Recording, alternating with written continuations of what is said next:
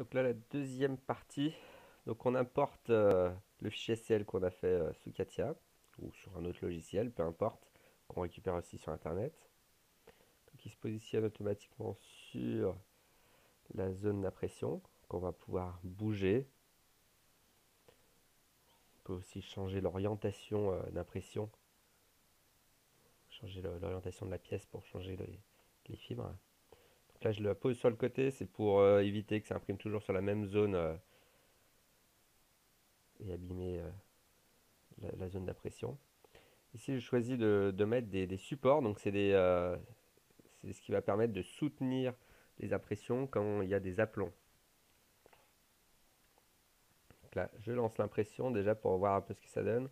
On voit en vert, en vert clair les supports. Donc comme il y a ce petit dévers, il va falloir le supporter, sinon le fil euh, tombe dans le vide. Il suffit de mettre des supports.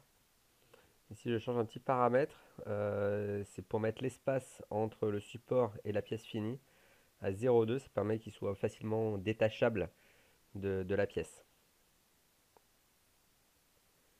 Ensuite, il faut toujours relancer la découpe pour voir ce que ça donne. Donc voilà.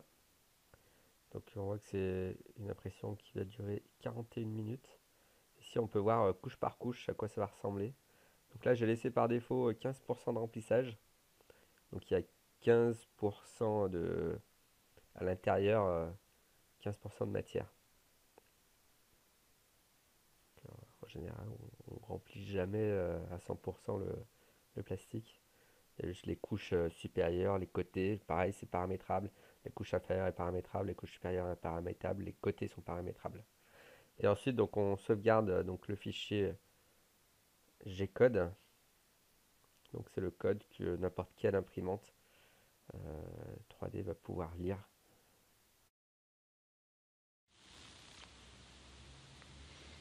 Alors voici l'imprimante. Hop. Donc on a simplement mis la carte SD avec le fichier. Donc là, les températures sont froides, le plateau chauffant est froid. On va aller chercher le fichier. Tout simplement, imprimer depuis la carte SD. On cherche, le fichier qu'on a mis, ASPI.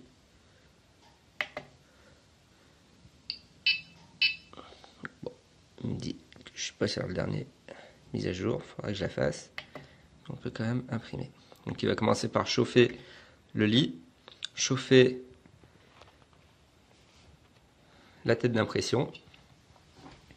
Pour le fil que j'utilise, j'ai deux bobines, j'ai une bobine d'ABS et une bobine de PLA. Ce sera le PLA qui est utilisé. Et là c'est euh, l'ABS. Bon, pour euh, que ce soit plus simple, j'ai mis, mis en PLA. Donc voilà, si on revient,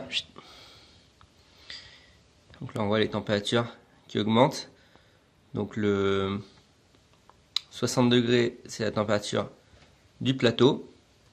Hop. Et 215, ce sera la température de la buse. Donc, j'avais pas fait voir tout à l'heure.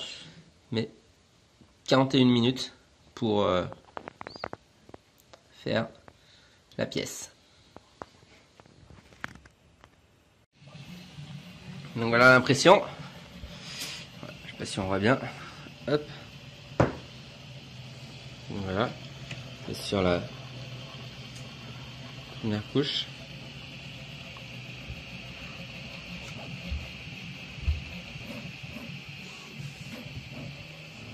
Et là, ça commence la deuxième.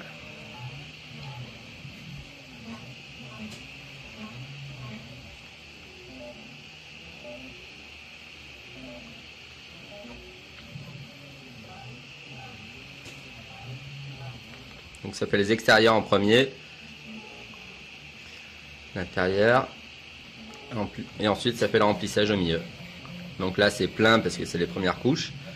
Euh, je crois qu'il y a deux ou trois couches de, de plein, c'est paramétrable. Hein. Et après, ça, remplit euh, avec, comme on a mis, 15% de, de vide. Non, 15% de, de matière plutôt.